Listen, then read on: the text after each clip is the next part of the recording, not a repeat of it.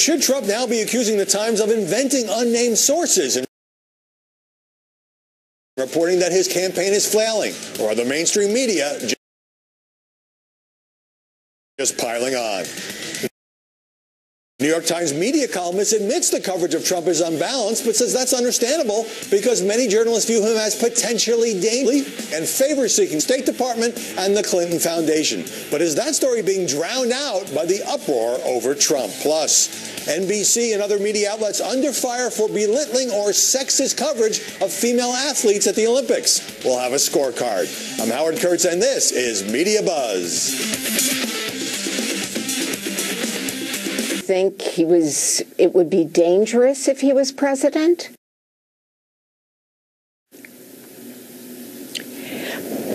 Donald Trump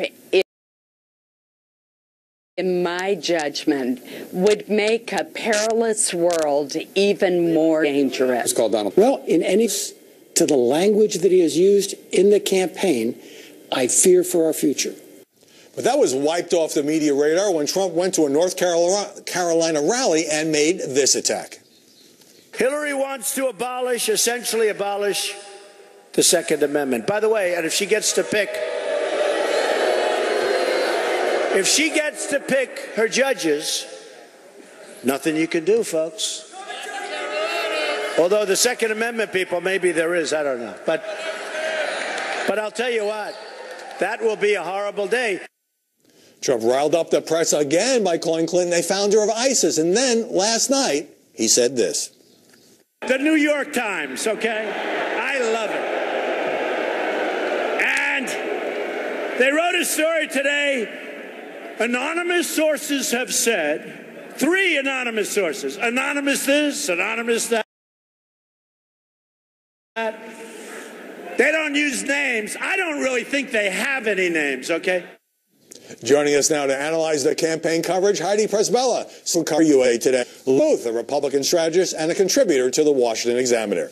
And Kirsten Powers, Fox News contributor and a columnist for USA Today. Heidi, that New York Times story that Trump was calling fiction, um, quoted a lot of anonymous sources, said he remains a crudely effective political showman, but aides think he may be on coaching and that he's not a plausible president. Your take on the story and Trump's response? This is obviously a story that was not just reported overnight. Howie. And it wasn't just for anonymous sources. Over the course of however long they've been reporting this, this is an evolution that we've all been watching in terms of Trump's advisors trying to get him to do things that maybe he, he didn't do during the primary campaign. Um, that said, it comes in the midst of what is undoubtedly a media pile-on. And so I think Trump kind of took this one story uh, and is reacting to it in a very emotional way in going after the New York Times. But the truth of the matter is, Howie, to report, and you know this, to report a story like this, you have to use anonymous sources. People who are in the campaign and who are worried about the direction of the campaign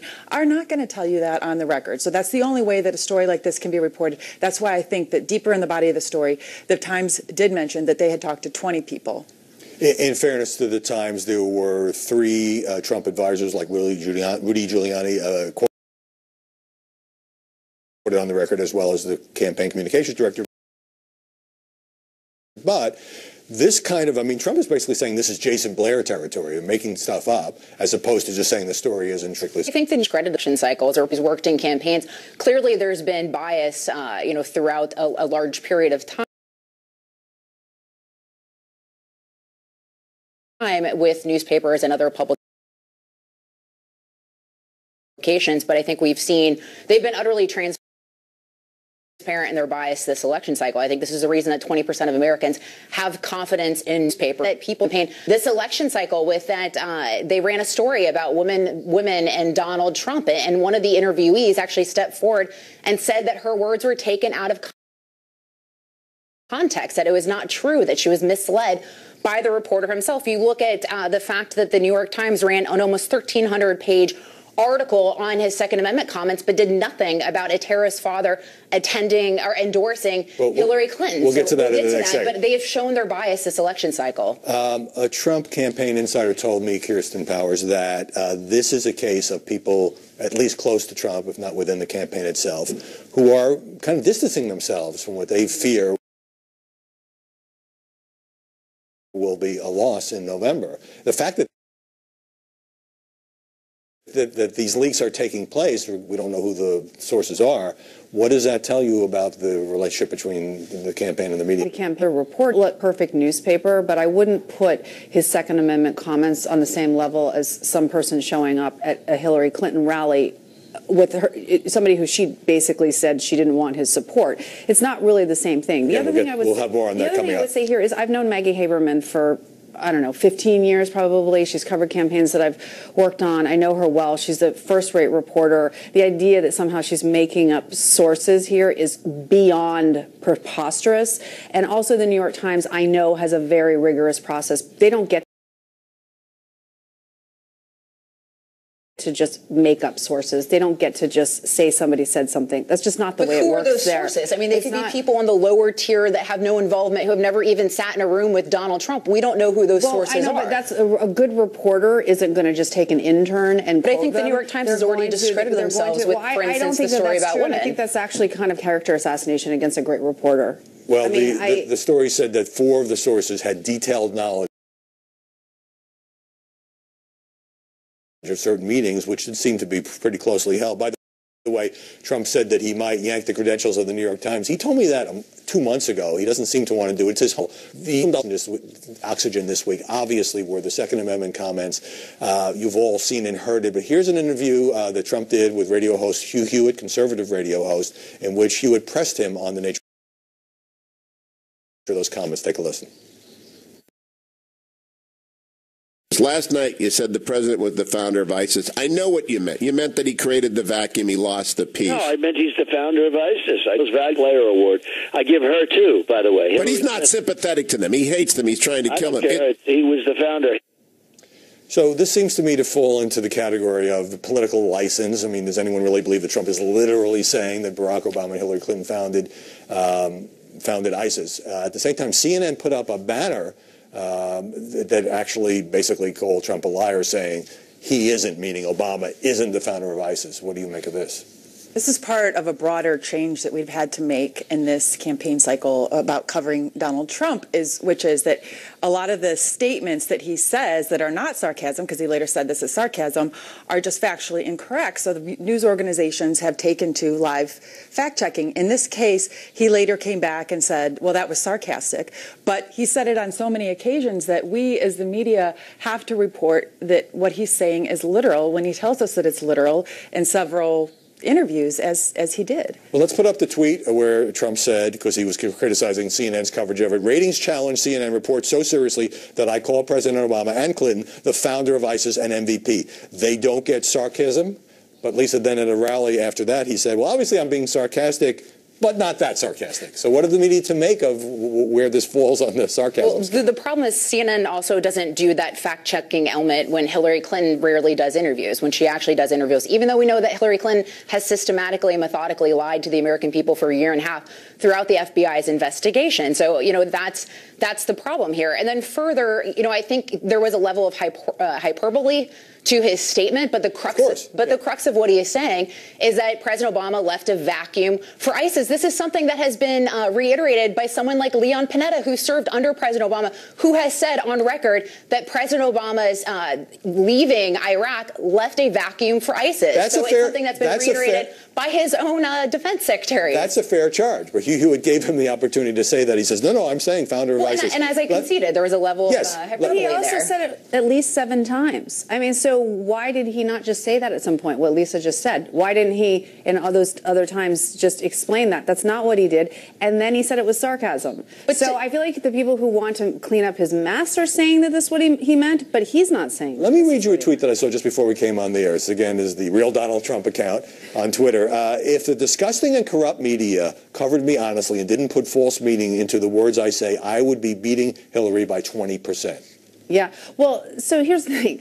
I, I've sat on this set and said that I thought the media has been was hard on Trump many months ago.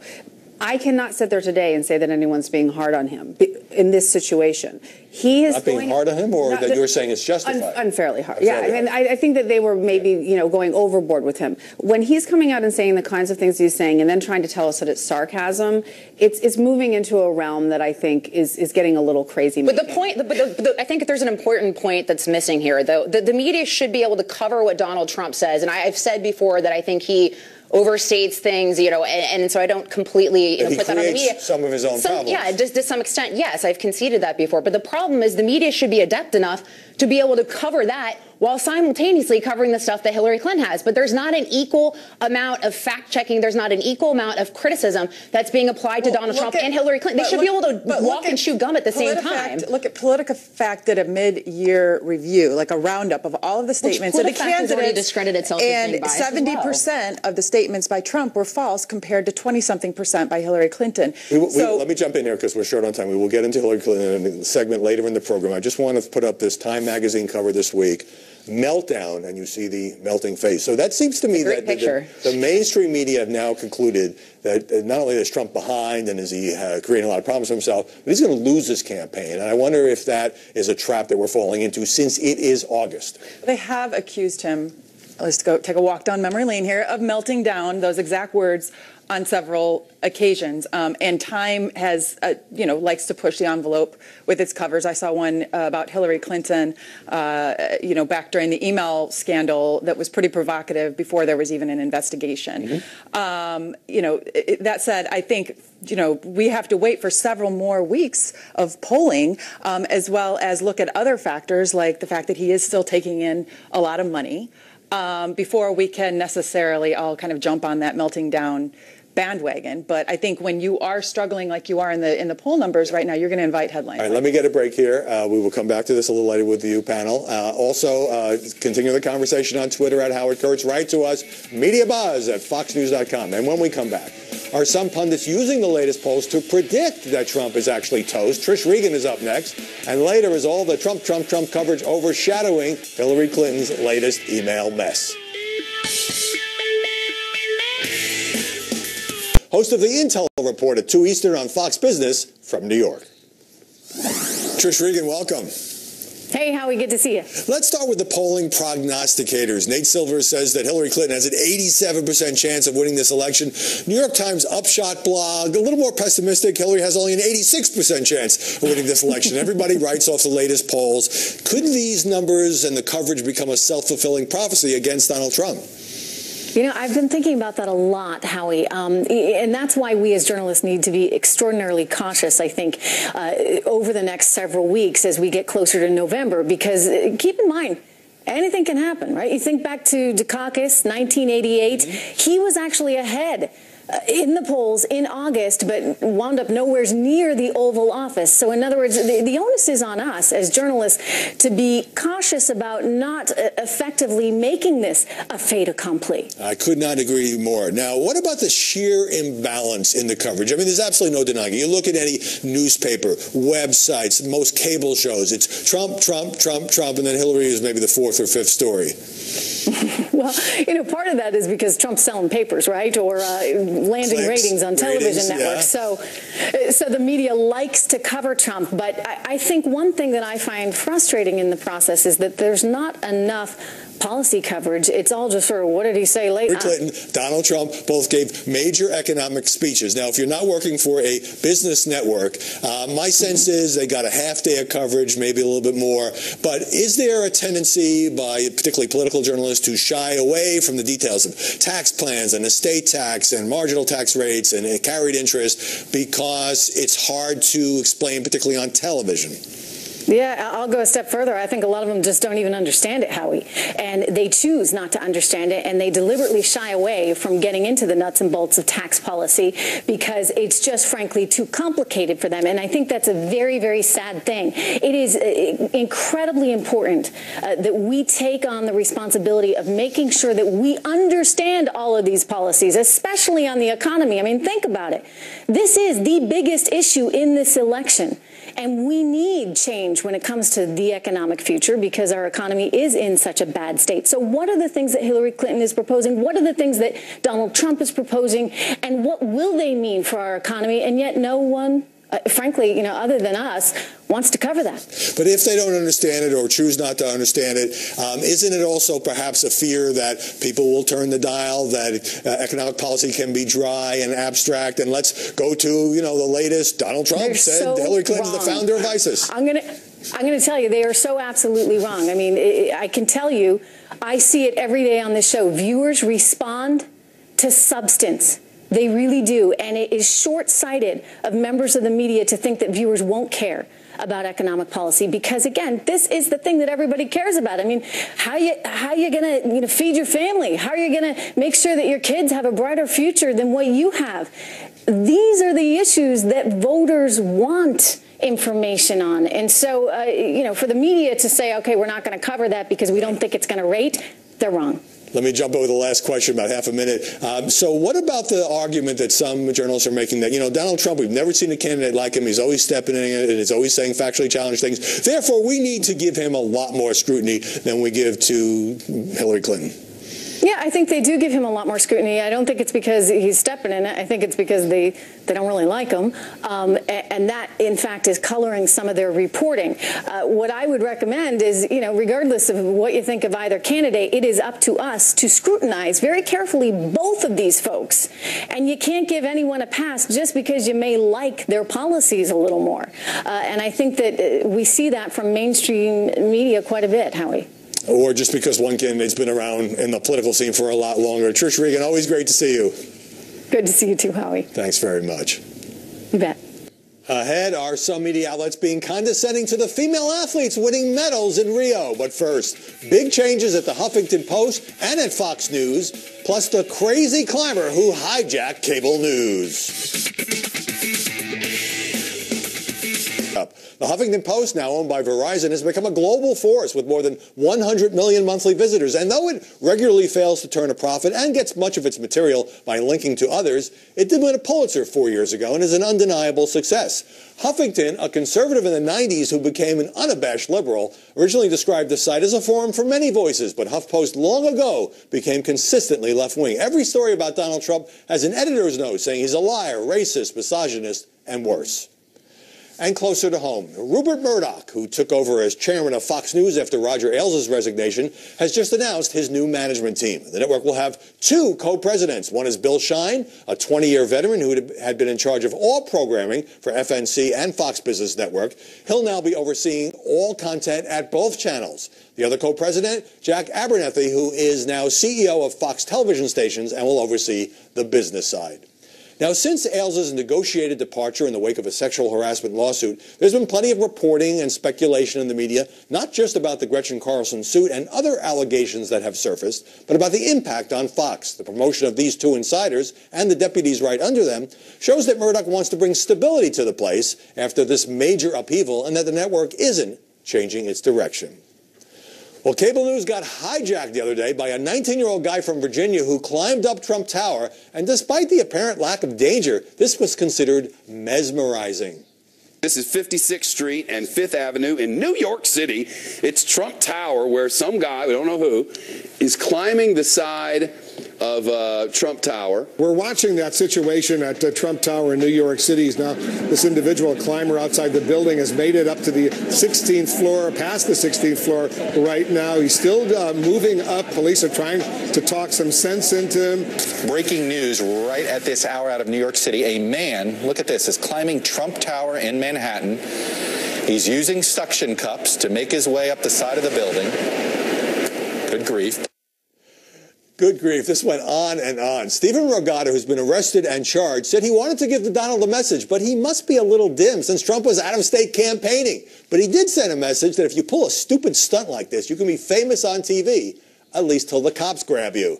Coming up, new emails reveal a favor-seeking environment involving Hillary Clinton's State Department and the Clinton Foundation. Is that story getting enough media scrutiny? And later, a spectacular defense of newspapers by that noted journalistic champion, John Oliver.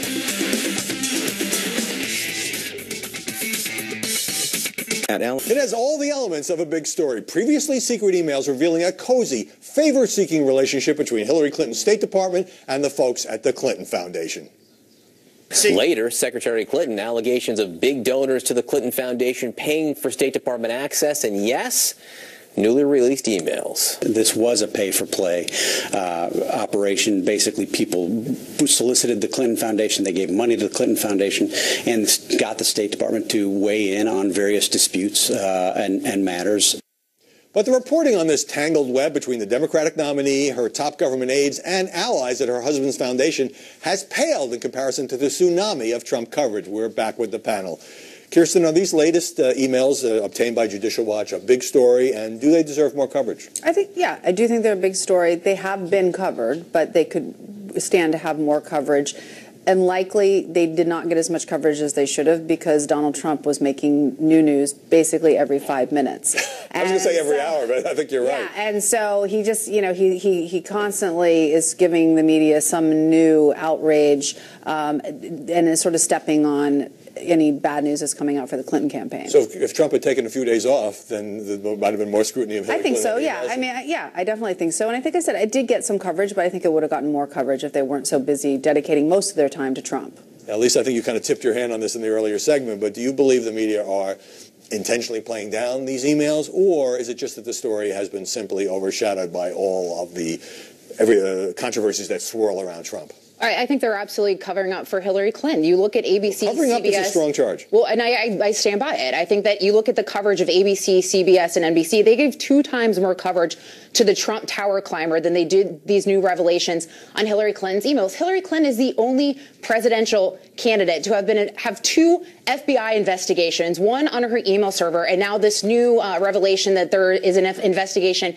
into public corruption charges with the Clinton Foundation. She has quite literally put our national security at risk, potentially risking lives as well with the information that's based on her server. But somehow this uh, hyperbole and rhetoric gets more attention than actions that have put our nation at risk. Would you agree that some news outlets, uh, including the big newspapers and cable news networks, have covered the story in some substantial detail? I think to an extent, but not enough. I mean, she's facing two FBI has faced two FBI investigations, and she's the Democratic nominee. That is mind-boggling to me. What jumped out at me, Heidi, is the way that there was a big donor, a, a, foreign guy who wanted to get a meeting with someone at the State Department, and suddenly Hillary's top aides are at it. I mean, I think the meeting never ended up taking place, but was the news value here undercut at all by the fact that there was no incriminating email that was released, at least in this round, by written by Hillary Clinton herself? Right. Well, it's involving her aides, but they are her closest aides, right? Huma Huma Abedin and right. Cheryl Mills. So, so like Kristen says, there, there's definitely this merits a lot of attention, and but in these specific e- emails, not only was it not Hillary Clinton writing the emails, but there, these are not. This is not textbook pay to play in that you can't take it to its logical conclusion that there was some favor given on behalf of this this donor. But the question is, what more is there to come out, and the media does need to be really vigilant about She's this because there's more there's though. more emails that may come out as part from WikiLeaks or from the Russian hackers, and so we have to keep on this this this narrative just as strong as we are on you know the daily kind of like incendiary comments that Trump makes because Lisa's right. It's serious if there is pay to play there, but we have not seen textbook pay to pay to play in these emails. But she's facing another investigation regarding the Clinton Foundation. I mean, Donald Donald Donald Trump's not facing has not faced two FBI investigations. I mean, this is huge but news. I just like conceded your point that we need to we need to follow these you. investigations. She's agreeing with you. but it's still not getting enough attention. Well, another story that has gotten a lot of chatter this week, and it's been covered more on Fox and the other cable news networks, is about the father of the Orlando mass murderer showing up at a public event for Hillary Clinton, uninvited. Mm-hmm. The campaign says it didn't know about it, and this generated some coverage and chatter. I'm having trouble understanding why it's a story if he wasn't invited and the campaign didn't know about it, but maybe you can set me straight.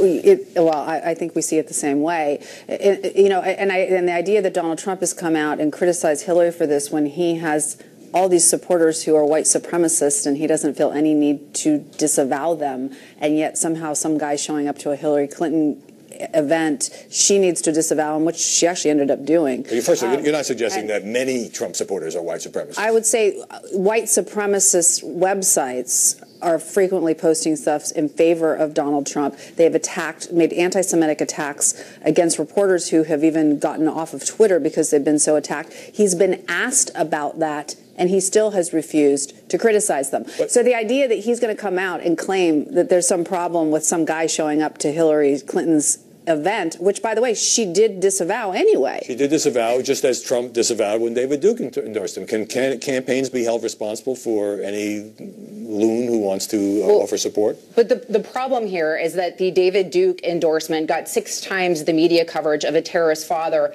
endorsing uh, Hillary Clinton and attending her rally because we all know that if he had attended a Donald Trump rally, that would be front page news the next day and would all but completely discredit his campaign. So that's the problem. But I would have a problem with that too. I mean, if it's not somebody that was invited by the campaign. And then, and then further to, to, to that logic, um, to lump Donald Trump in with uh, these white supremacists, then by the same logic, you would have to say, well, then why isn't Hillary Clinton? Hillary Clinton should denounce, uh, you know, people among the Black Lives Matter movement who have said statements like pigs in a blanket, fry them like bacon. The, the reality is there's just not an equal amount of scrutiny applied to. There's no evidence to, that they're Hillary Clinton supporters. She's no, because that's not. the no, but that's not. That's not. But that's not the same thing. I think I'm, it's the I'm same talking, logic. What I'm talking about are people who are attacking people, making anti-Semitic attacks against reporters because, in one case, they're mad at the fact that the reporter wrote an anti-Melania piece allegedly, and they're and then he is asked about this, and he basically says, "I don't have anything got, to say to I've my got fans." Just a few seconds That's left not for the Heidi. same thing. Uh, I was actually in the motorcade when this went down in Hillary Clinton's motorcade, and I can tell you, uh, proof positive that it, uh, they were just as shocked as everyone else that that he was there. Because having covered, you know, 16 years of these campaigns, I know that the way these things work is that anybody who wants to wait in line for three hours and go through a metal detector can wind up standing behind the platform. Yes, sometimes they do put their supporters there as well, but that literally the campaign was shocked to, to learn this along with the rest. Gotta, I don't think gotta, it's gotta end it there. Out of time. Heidi, Przybyla, Lisa Boothe, Kirsten Powers. We'll continue this offline. Up next, a debate about the New York Times columnist who's okay with the media tilting against Trump because he's such an unorthodox candidate. And later, the Daily Beast apologizes for a story that outed gay Olympic athletes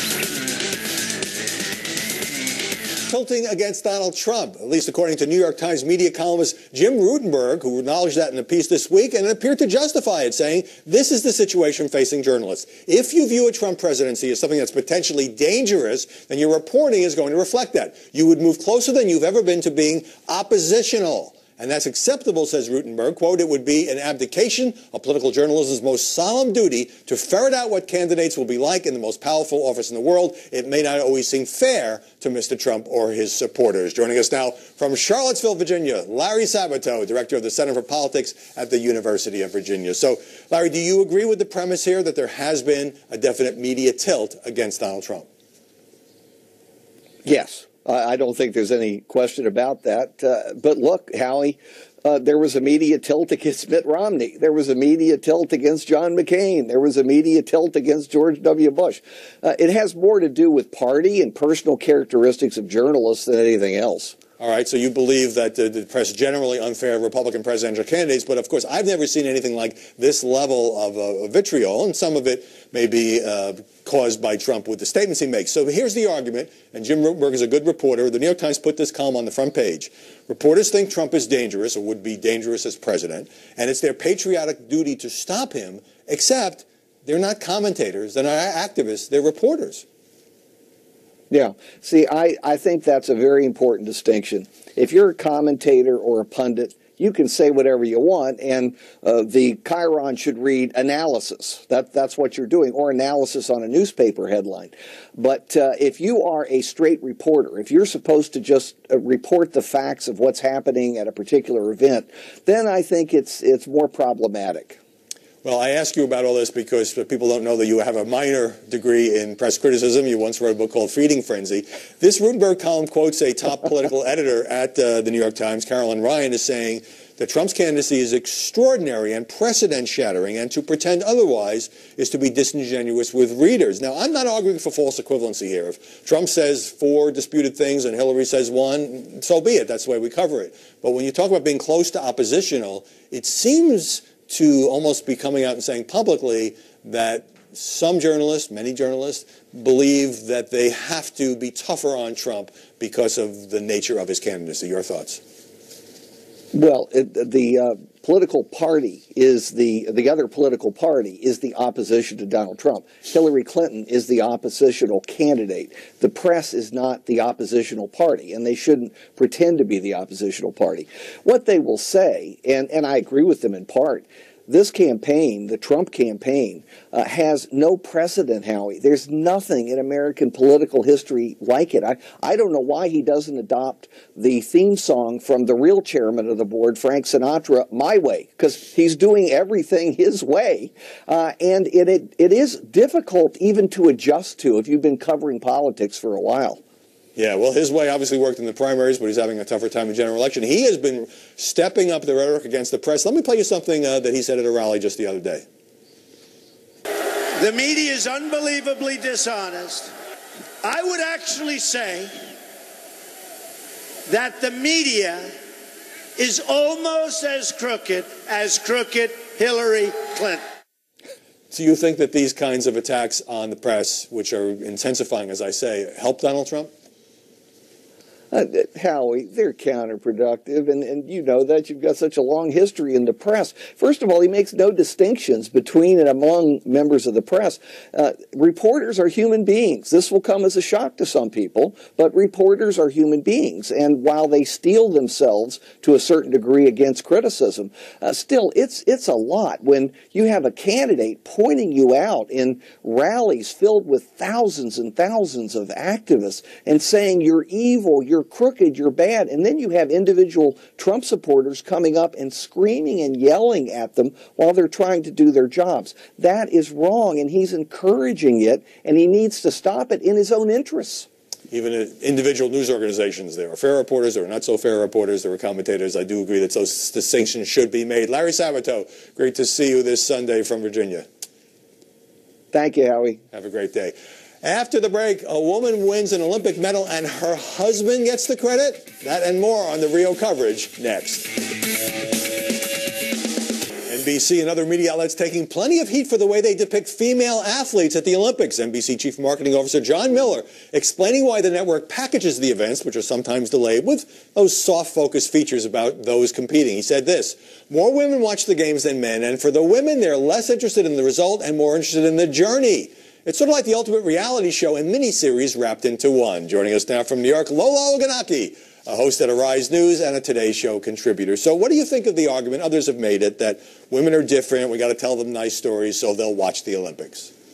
Um, I think it's ridiculous. I think anyone that's tuning in to watch the Olympics does enjoy the stories, but they more than anything they enjoy the watching the competition. They enjoy watching superior athletes leave everything on the floor, blood, sweat, and tears. That's what they tune in for. They want to see the, the, the built-in drama that goes into the competition. They're not there for a reality show. It's not an episode of The Bachelor or Survivor. It's the Olympics. That was a gold medal answer. Let me get you to some specifics Thank you. here. Thank you. All right. So, Tens all around. so uh, when a woman won the trap shooting bronze, the Chicago Sun-Times reported it this way. Corey Cogdell Unrein, wife of Chicago Bears defensive end Mitch, wins bronze. In the second paragraph. Her husband, Bears defensive end Mitch Unrein, cheered her from his home near Chicago. They've been married for two years. What? Your thoughts? It's really difficult for some people to understand female athletes without the proxy of a male. So a female athlete either has to be the wife of, the daughter of, the mother of. she can't simply just be a female athlete. And can you imagine if the same sort of language is used to describe a male athlete? No one ever describes Michael Phelps as son of, husband of, fiance of. He's just Michael Phelps. No one ever no one has ever referred to Michael Phelps as the male Katie Ledecky. but Katie Ledecky is always referred to as the female Michael Phelps. Why is that, Howie? I don't understand it. It makes no sense. Katie she doesn't Ledecky swim like a man. amazing. She is Katie Ledecky. She's She's an amazing athlete right. in her own right, and that's it. All right, here's another example for you. So, uh, Hungarian swimmer, I hope I don't uh, blow this name, Katinka Hosszu, she won the gold, and NBC's Dan Hicks said that her husband and coach was the guy responsible uh, for her performance. He later said, well, it was impossible to tell Katinka's story accurately without giving appropriate credit to Shane, her husband. You're kind of making your and point. that's And it's listen, was he in the pool with her? Did he drag her across the finish line? I don't think so. I mean, he was there to support her. He was there to, you know, be a great champion for his wife, and that's about it. I mean, I just don't understand. I mean, my favorite though is from the San Jose Mercury about Simone Manuel. The headline read, "Michael Phelps shares historic night with African American." That was so Was nice of? Michael Phelps. What a guy! All right, All it? right, I do want to mention. of him. I do want to mention that the Daily Beast uh, deleted and apologized for a piece uh, after a reporter used dating apps like Tinder to arrange hookups with gay Olympic athletes, not only outing them, but in some cases endangering them because in those countries, or some of those countries, gay sex is illegal. The Beast said that we screwed up, and that's true. Our quick final question for you. Former Olympic gymnast medalist uh, Shawn Johnson said, tired of the uh, devastating scrutiny on female athletes, what they wear, how fat or thin they are, whether or not they're pretty. Does that resonate with you? I'm sorry, Shaw. What was the question? Whether or not the, the focus on whether or not the female athletes are fat or thin or pretty, the appearance question. Is there too much of that? Listen, we should just focus on their performance. That's it. These women are not there to entertain men. They're not there to titillate the audience. They're there to compete. They are leaving every. They're making. re- They're breaking records. Right. They're creating historic moments. That's solely what they're there for. All if right. you were looking for a beauty contest, tune into a beauty contest. Got Watch. it. Thank you so much, it. Lola Ogunnaike. And still Thank to come- still to come, John Oliver on how TV news really, really leans on newspapers, and what really happened when Frank Luntz on this set threw a phone. Local newspapers are financially struggling as they try to adapt to the online world. HBO's John Oliver has a terrific take on why this matters to you, even if you get your news from TV or Facebook or Twitter or a bunch of websites. Those places are often just repackaging the work of newspapers, and it is not just websites. Watch how often TV news ends up citing print sources.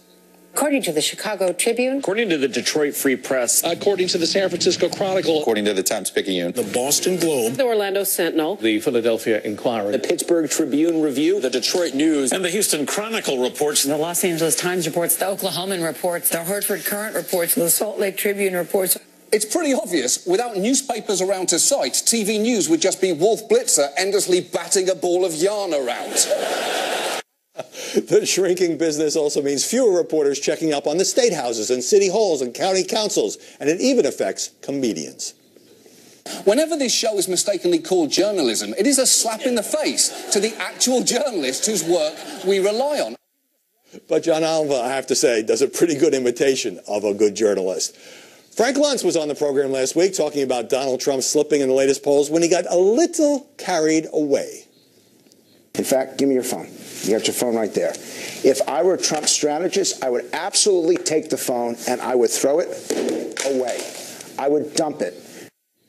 Now, many of you took to Twitter to ask about the condition of my poor iPhone, but Frank engaged in a little sleight of hand there, tossing his own uh, phone to the floor, not mine. He says his phone was damaged and that cut into his tweeting.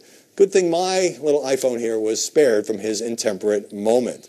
And it's a good thing that I have this as a backup. I know people think BlackBerry's unfashionable, but it's good for email. That's it for this edition of Media Buzz. I'm Howard Kurtz. Thanks for joining us. We hope you'll like our Facebook page. We post a lot of original content there. You can be part of the Your Buzz feature. I respond to your questions uh, on video.